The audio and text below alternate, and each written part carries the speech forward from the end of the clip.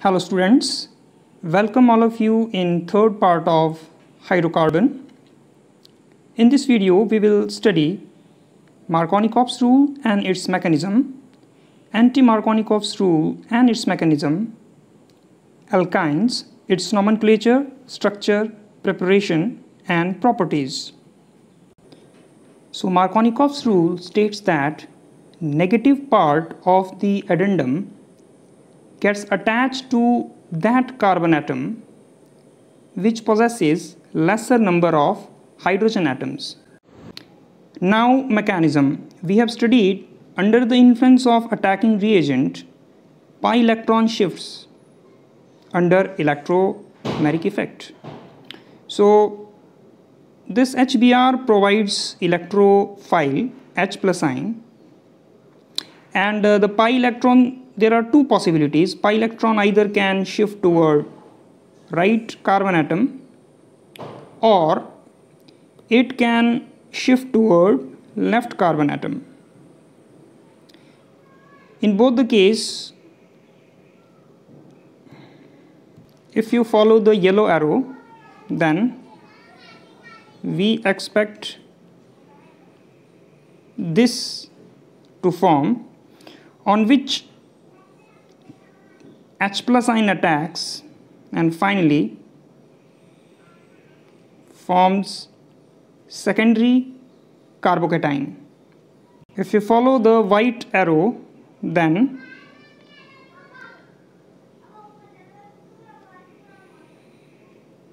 this ion is formed and on this H plus ion attacks and forms primary carbocation. Now A primary carbocation is less stable as compared to the secondary carbocation. Therefore, carbocation B is attacked by bromide ion. So here you see Br negative ion attacks on secondary carbocation and forms 2 bromopropane as major product.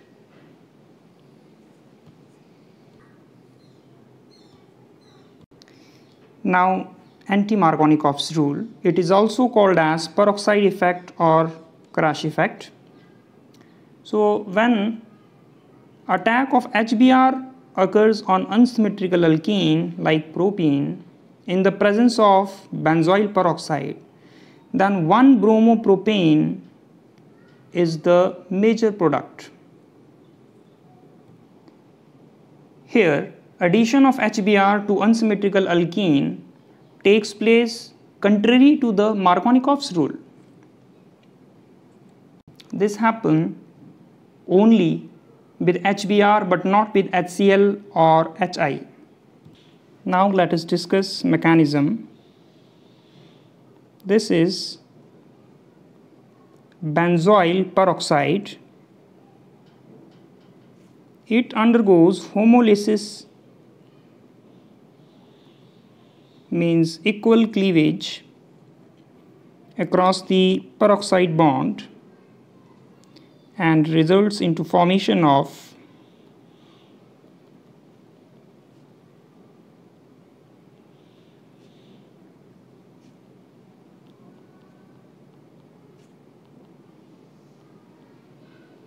this called benzene free radical. In the second step,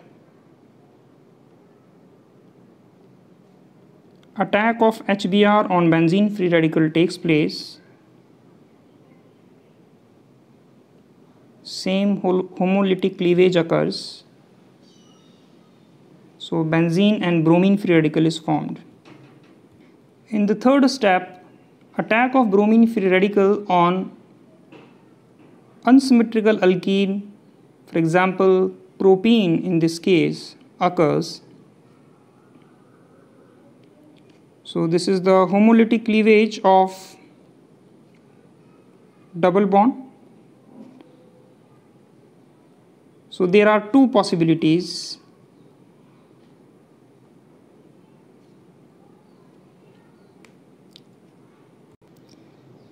If bromine free radical attacks on second carbon atom then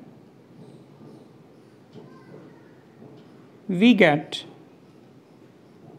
primary free radical which is less stable and if bromine free radical attacks on first carbon atom then secondary free radical is formed which is more stable. Therefore, attack of HBr takes place on secondary free radical as follows.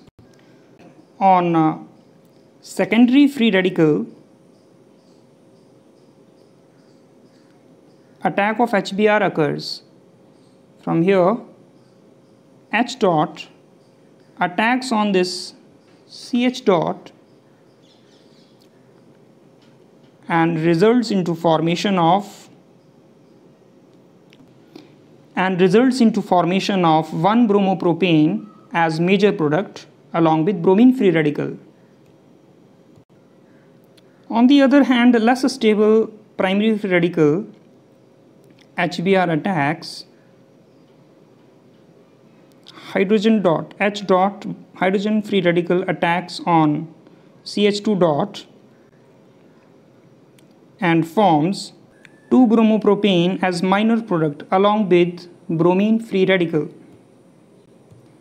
Now let us discuss about alkynes.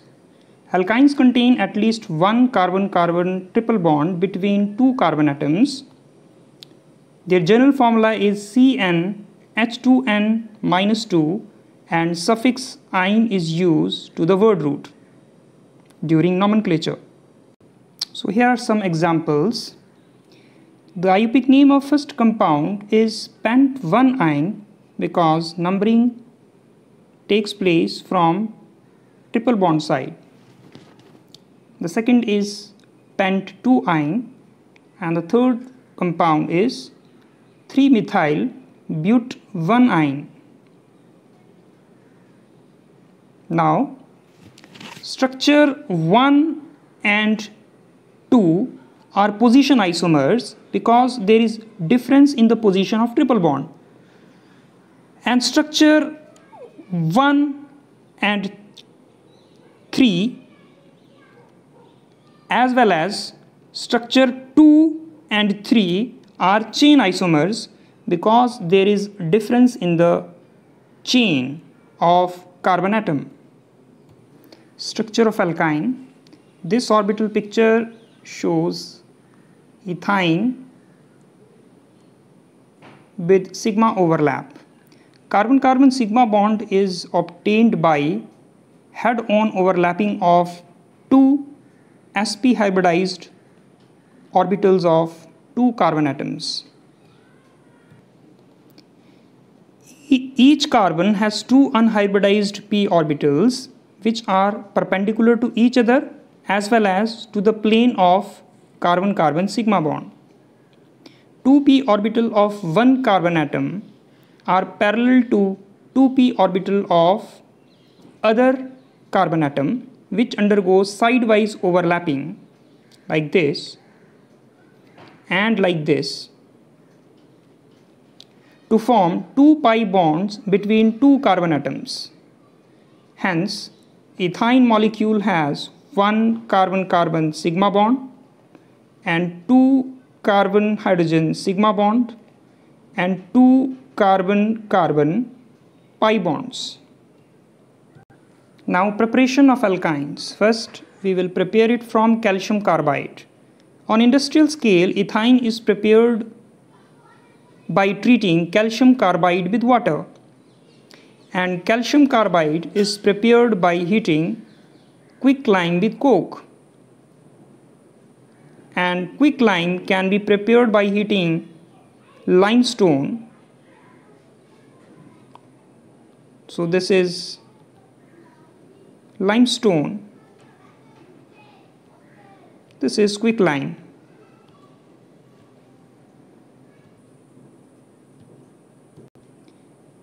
now the quicklime obtained is heated with treated with coke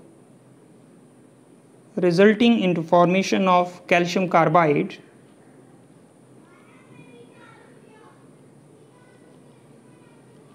and this calcium carbide when treated with water then calcium hydroxide and ethine or acetylene is formed. Next preparation is from vicinal dihalide. When vicinal dihalides are treated with alcoholic solution of KOH, then potassium hydroxide undergoes dehydrohalogenation reaction. Means hydrogen and halogens are removed and one molecule of hydrogen halide is eliminated to form alkynyl halide which on treatment with sodamide give rise to alkyne. Here NABR is released and NH3 is released resulting into formation of alkyne.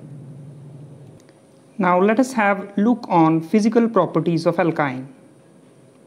First three members are gases, next eight are liquids, higher ones are solid. All alkynes are colorless except ethine, all are odorless and weakly polar. These are immiscible in water and soluble in organic solvents. Now we'll study about the reason behind acidic nature of alkynes.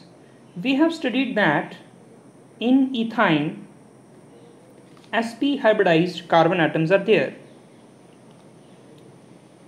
In case of ethene sp2 hybridized carbon atoms are present and in case of ethane sp3 hybridized carbon atoms are present. Now due to the maximum percentage of S character in sp hybridized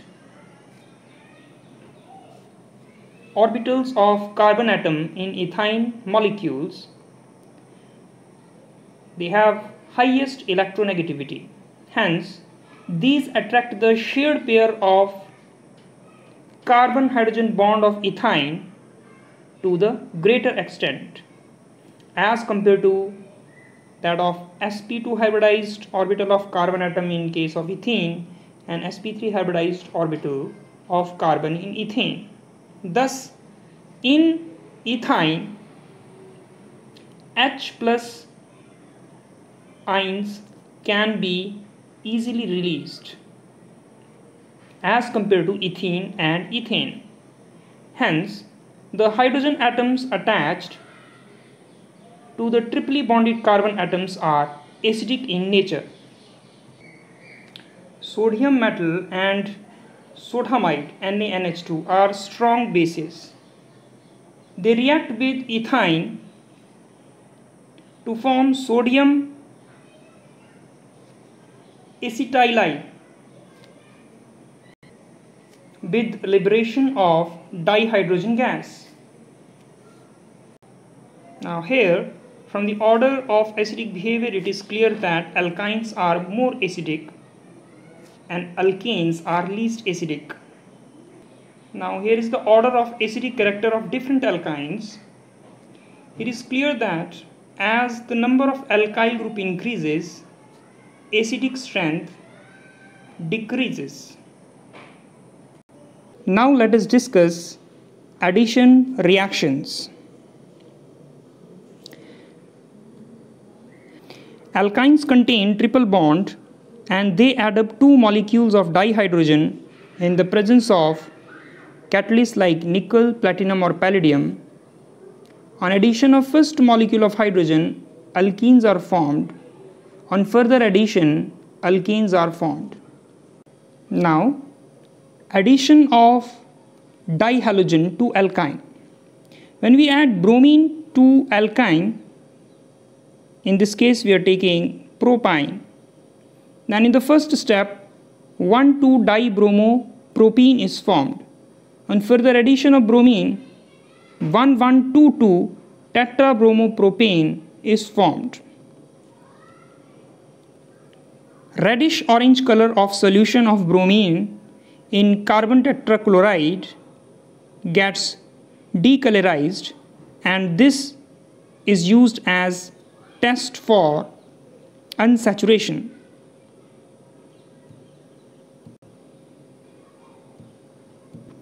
Next is addition of hydrogen halide. Two molecule of hydrogen halide add to alkynes to form gem dihalides. So let us take the example of ethyne which in the presence of hydrogen bromide first forms bromoethene on further addition of hydrogen bromide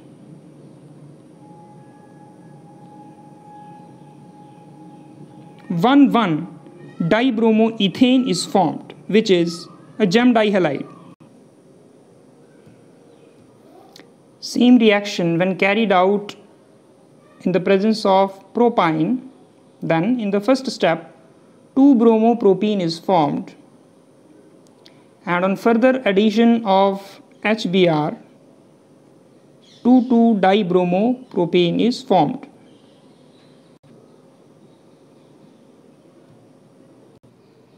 Next is addition of water to alkyne. Like alkanes and alkenes, alkynes are also insoluble in water and so do not undergo reaction with water. However, when one molecule of water is warmed in the presence of mercuric sulfate and dilute sulfuric acid at 333 Kelvin then alkyne undergoes reaction to form carbonyl compound called ethanal which is formed as a result of isomerization of this intermediate product. If we carry out same reaction in the presence of propyne If we carry out same reaction in the presence of propyne, then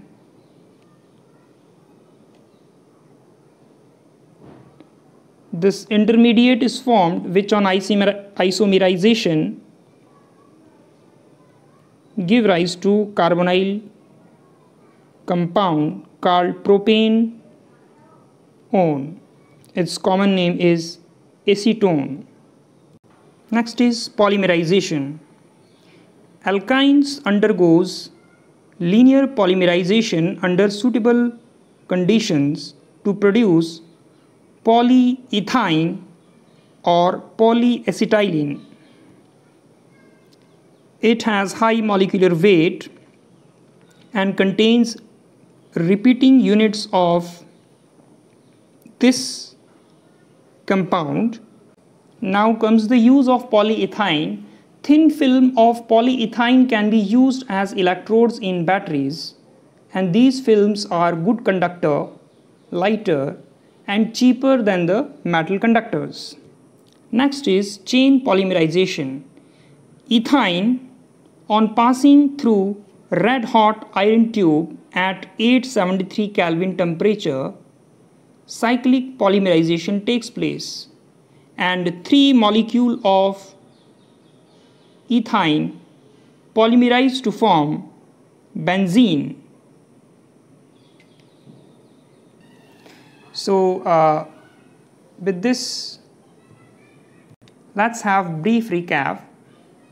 In Markovnikov's rule we studied that 2-bromopropane is the major product when hydrogen halide is treated with unsymmetrical alkene and when peroxide is added then 1-bromopropane is the major product. And we studied about alkynes, its physical and chemical properties in detail. Hope you enjoyed the video. Thank you.